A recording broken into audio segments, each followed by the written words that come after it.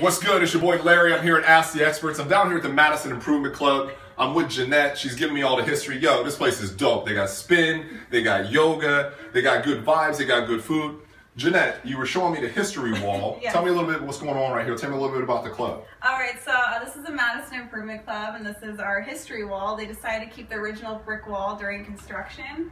Uh, it was also called the Madison Improvement Club. It was a women's sorority club, and they found all these yearbook clippings in here. This is a time capsule right here that they wanted to keep. I've seen lots of different yoga rooms, but this one's really, really nice. It's Yeah, warm. we, so we heated about 90 degrees.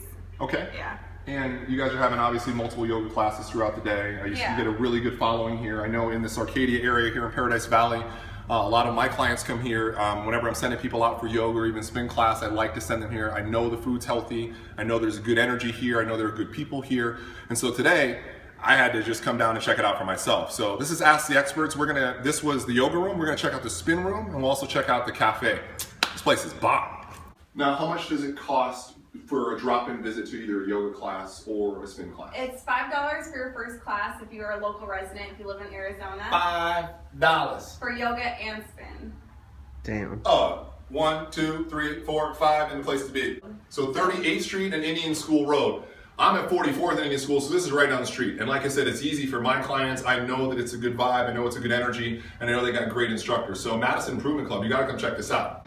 So you can rent out shoes for the spin class. So if you don't have your own shoes, they got them for you. They'll clip into the pedal.